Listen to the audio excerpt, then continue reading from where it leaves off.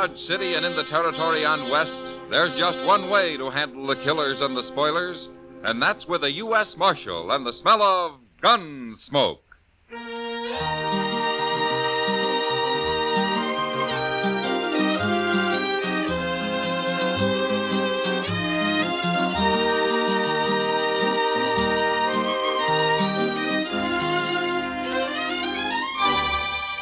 Gunsmoke, starring William Conrad. Story of the violence that moved west with young America. The story of a man who moved with it. Matt Dillon, United States Marshal.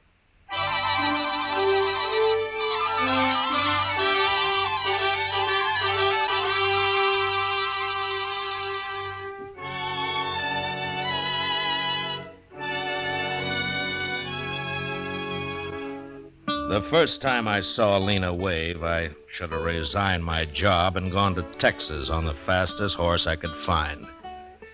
Handling a man is one thing, but uh, trying to handle a woman is another. Especially when she weighs some 200 pounds and is muscled like a mule and twice as ornery.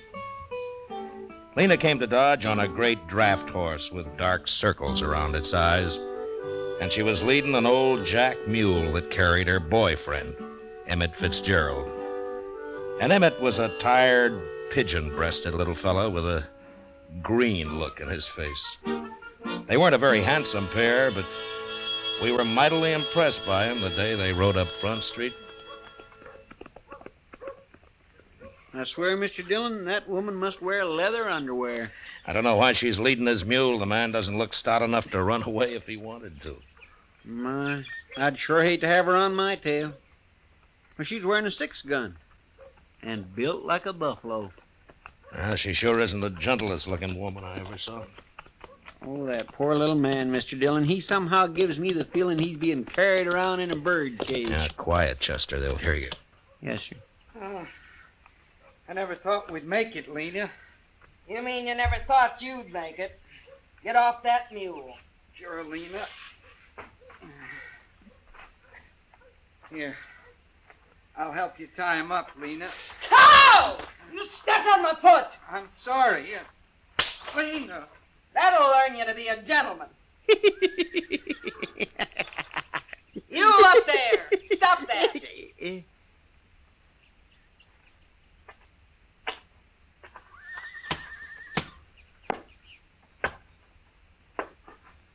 Who you laughing at?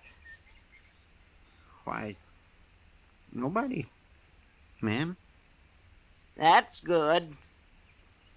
'Cause if I got the notion you was laughing at me or my man, I'd open you up. Oh, oh, no. Oh, mine, no. No, it, it, it was just something funny I heard the other day from a fella.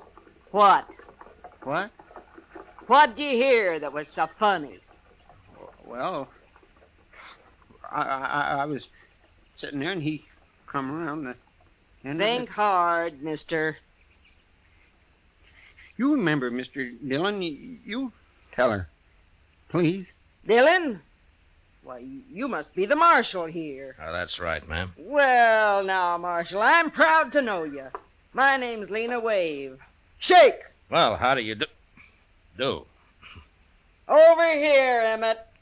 Sure, Lena.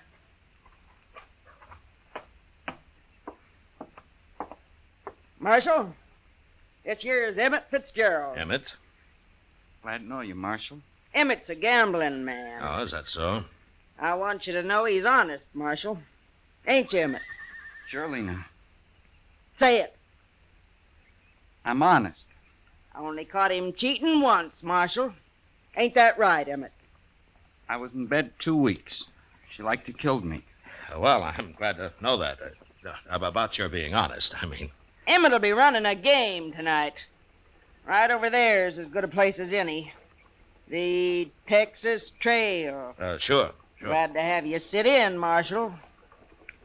And you can come, too, if you watch your manners. Yes, ma'am. Thank you. Emmett, I'd better feed you so you can get enough strength back to kneel them cards. Come on.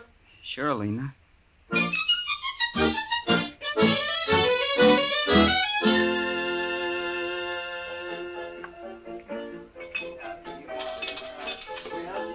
Been in that game over there for two hours, Matt. He must be losing. Well, he usually does, Kitty. How anybody could concentrate with Lena hulking around, I don't know. She does keep an eye on things, doesn't she? You know, Matt, I feel kind of sorry for her. Oh, she can take care of herself. Oh, it isn't that. She's being so big and not very pretty. After all, she is a woman. Uh, that's not too easy to tell, Kitty. You think she's in love with Emmett? Well, now, Kitty, I tell you, I haven't worked that out yet. Uh, I, I'm sure been studying on it, Oh, though. I- Matt. Every woman needs a man of some kind. Uh, she's got one. Yeah. I feel sorry for him, too. Oh, Lena will take care of him. I know. But I'll bet he'd like to take care of Lena just once. After all, he's human. I tell you, that is not my hand. I had three aces. You accuse Emmett of cheating, and I'll shoot you dead. Uh, excuse me, Kitty. I better go fish Chester out of that. That Emmett was dealing, wasn't he? I'll blow a hole in you, mister. Right now. All right, hold it, Lena. She's about to shoot me, Mr. Dillon. You bet I am. Lena, I don't know what it's like where you came from, but you shoot anybody around here and you're going to go to jail. You'd put a woman in jail For shooting, I would. for fighting? What? This is what? When I hear he, he, he can put in jail for that, too, now. Now, here.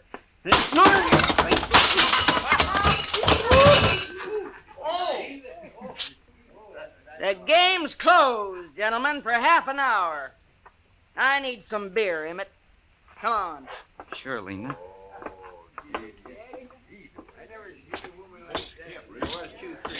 He said, man, I don't care what this thing gang up on me like that. It ain't fair. Uh, here. Chester. Let me help you out.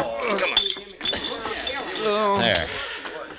Well, are you all right? why didn't you stop her, Mr. Dillon? She might have killed me. Well, I, I, I don't know, Chester. I never fought with a woman. Well, I have, and I don't want no more of it. Uh, you can't hit her. What can you do with her? Leave her alone. That's what I'm going to do. You know, Chester, Lena could get to be quite a problem. Well, she ain't going to be my problem. I'm getting out of here.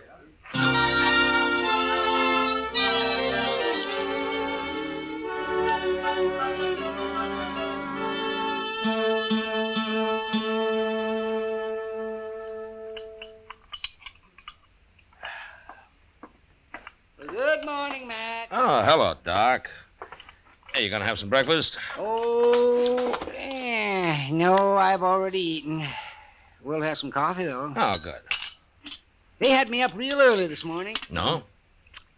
Who did? A couple of men Lena Wave got mad at. Huh? She used a bottle on them. Oh, were they hurt bad? Oh, she blooded them up some. It wasn't real serious, though. All they did was try to protect themselves. After all, what man's going to fight a woman? Yeah, that's true. But one of these days, some drunk's not gonna realize she is a woman, and he'll shoot her. The one that hasn't happened already. oh, say, I hear Chester caught it all right when he accused Emmett of trying to cheat him. Well, he found out later that wasn't true, Doc. The other boys were just playing a joke on him. They switched his cards while he, he was under the table looking for some chips that he'd dropped. oh, wondered, oh, that. Oh, if you ask me, a man that'll leave his hand while he crawls around on the floor deserves anything that happens to him. Well, just about everything did. Mr. Dillon? Oh, here he is. He'll tell you. Mr. Dillon? Oh, say, you better come too, Doc. Huh? Oh, what's the trouble, Chester? Lena Wave, she just shot a man over at the Dodge House. What? Oh, say, we better get... Oh, hmm. Is the man dead, Chester? He sure is, Doc. Where's Lena? She's still there.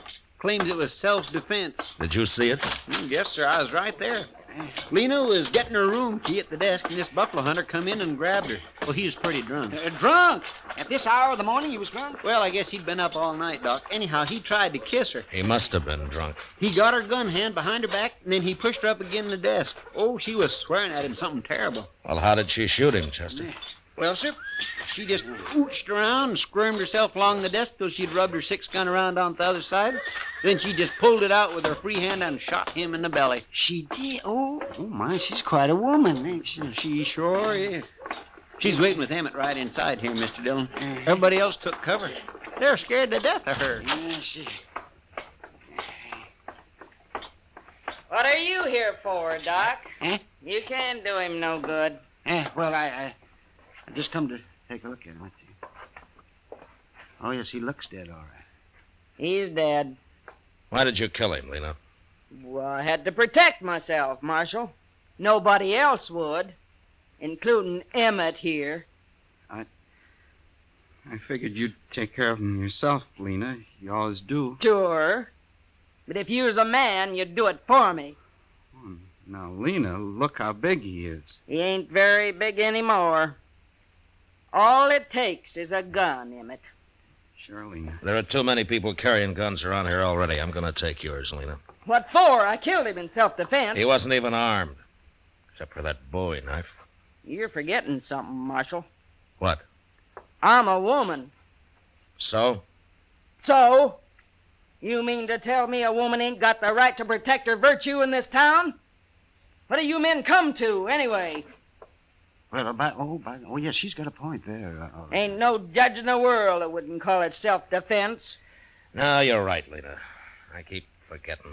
You know I'm right. Emmett, we ain't had breakfast yet, and I'm hungry. Come on. Sure, Lena.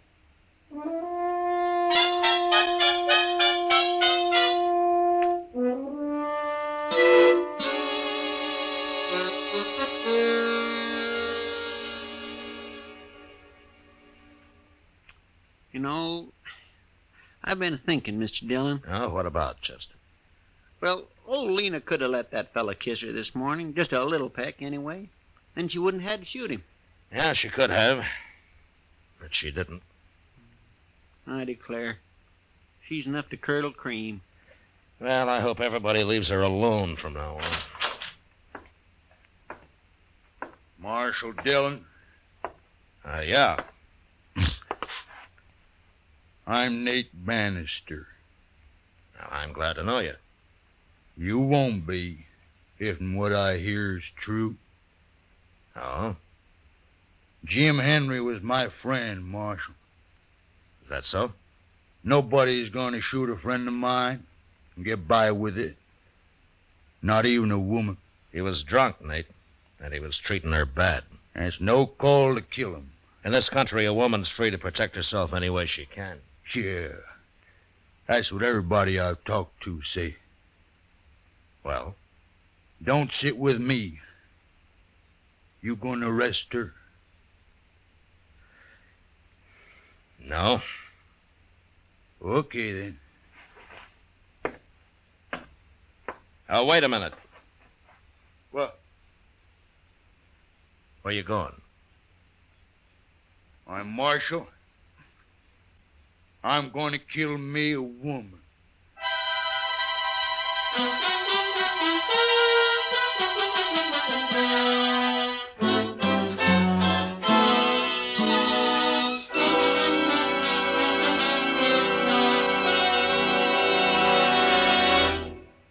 We will return for the second act of Gunsmoke in just a moment. But first, this Monday night on CBS Radio's Suspense, hear Jeff Chandler in Death at Skrikerud Pond.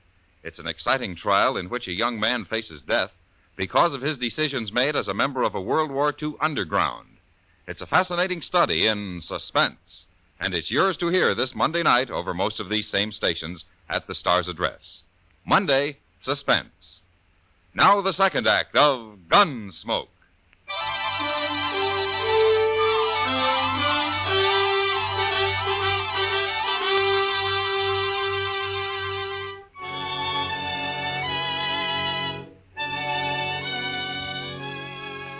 Nate Bannister was obviously a buffalo hunter, same as his friend who had been shot that morning. He was a huge man with a heavy black beard and eyebrows so thick it was hard to tell if he was looking at you or not. I watched him as he stood in the doorway, having just said that he was going to kill Lena Wave. And I realized that a man that primitive was capable of doing anything, even shooting a woman. And I wasn't sure how to stop it, unless I shot him first. The way I was brought up, Marshal, that's what friends is for. If somebody kill you, then they gotta kill them. You do any killing around here, Nate, and you'll be tried for it. Maybe. If you catch me. I'll catch you.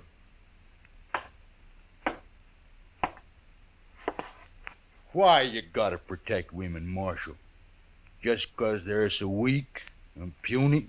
Is that Nate Bannister? Huh? You heard me. Why? Yes, ma'am. I'm Nate Bannister. Well, they didn't tell me you was so big. Who didn't tell you? How'd you know my name? You've been spreading it around that if the marshal don't arrest me, you'll shoot me. That true? Are you Lena Wade? I am.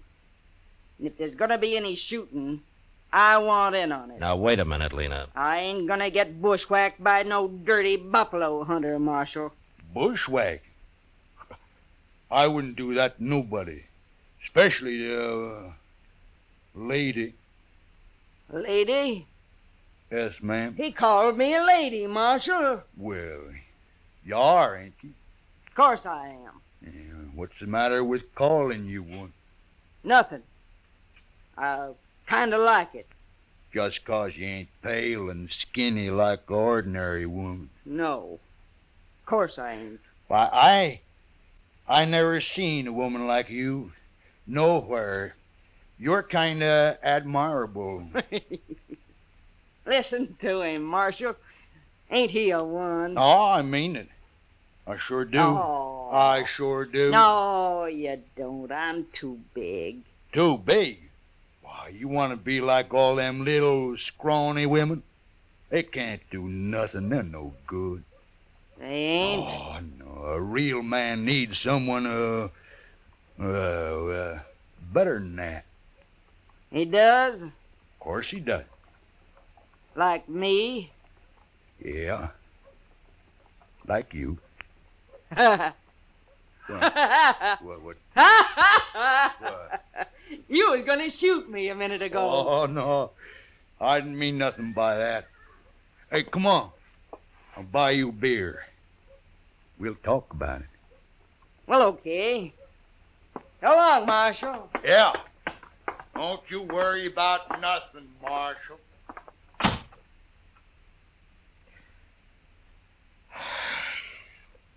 Uh, Chester!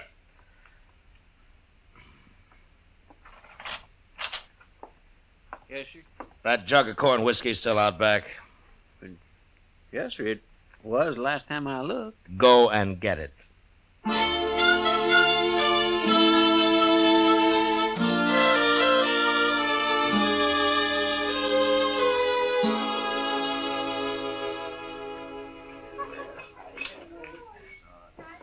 Those two make quite a couple, Matt. Look at them. They've been sitting there most all day. Yeah, a pretty shaggy pair of lovebirds, if you ask me. How's Emmett taking all this? Well, he didn't find him till a couple of hours ago. No, what happened? Oh, where is he? Nate ran him off.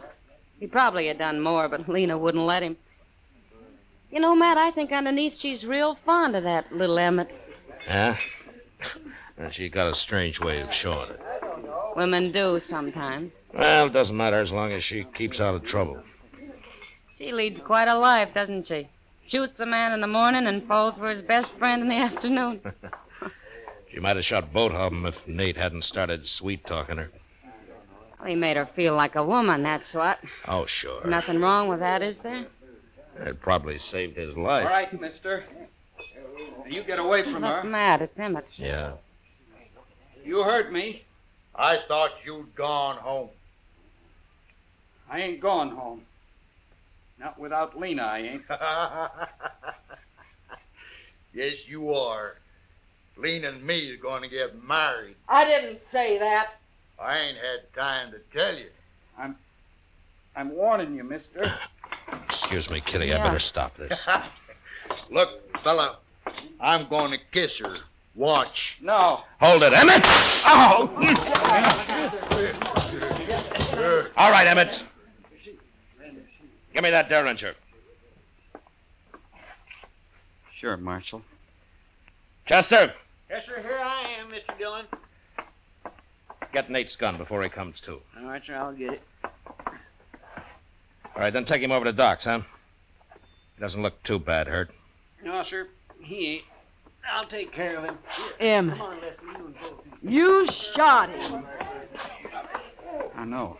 You shot him. Over me. Well, He was stealing you, Lena. And you went and shot him. I was kind of ashamed this morning when that other fellow tried to kiss you. You're a man after all, Emmett. I couldn't stand losing you, Lena. Oh, I didn't care nothing about him. You didn't? No. I was just tired of not being treated like a woman. He called me a lady and kind of lost my head. That's all. Well, Emmett kind of lost his head, too, Lena. All right, Emmett. Come on. You're going to jail. No, Marshal, please. Come on. Get going, Emmett. All right. My husband goes to jail. So do I. Your husband? Of course. We've been married ten years, Marshal. I always knew it wasn't a mistake. Well, he's still going to jail. Please, Marshal, don't take him. Of course I'll take him. He just shot a man, didn't he? He was only protecting his lawful wedded wife. You gotta let me go with him. Well, I can't leave him now. I've been waiting ten years for him to treat me like a woman. Oh, please, Marshal. Look, Lena, there's been nothing but trouble since you hit Dodge. Please, Marshal. When Nate gets patched up, he'll be gunning for Emmett here. Emmett'll kill him next time. All right, all right, Lena. Look, I'll tell you what I'll do. Get out of Dodge, both of you. Right now. You mean it? If you hurry. Oh, thank you, Marshal. Uh, let's go, Emmett. Wait a minute. Huh? Take my arm. All right. Now, Lena. Come on. Sure, Emmett. Sure.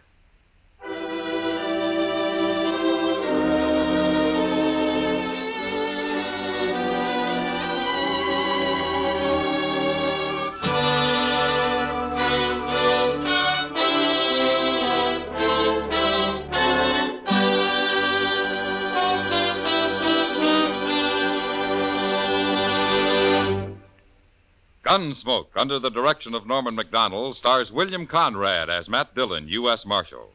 Tonight's story was specially written for Gunsmoke by John Meston, with music composed and conducted by Rex Koury.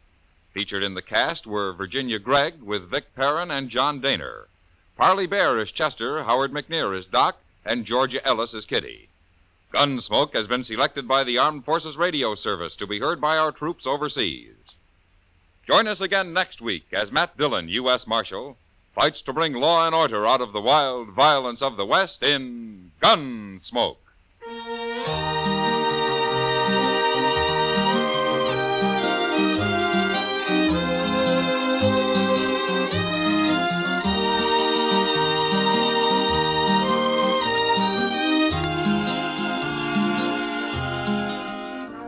Mr. and Mrs. North of CBS Radio get into an arty crowd, an artful crowd, too, when mixed paints and mixed emotions make murder. Here a collector's item Pam and Jerry's latest thriller, leading them a merry chase mid works of art before they nab their killer. It's on most of these same stations Tuesday night. On the same evening, you have a date for thrills with John Lund as yours truly, Johnny Dollar. Don't forget. George Walsh speaking. Eve Arden as our Miss Brooks teaches you how to laugh Sundays on the CBS Radio Network.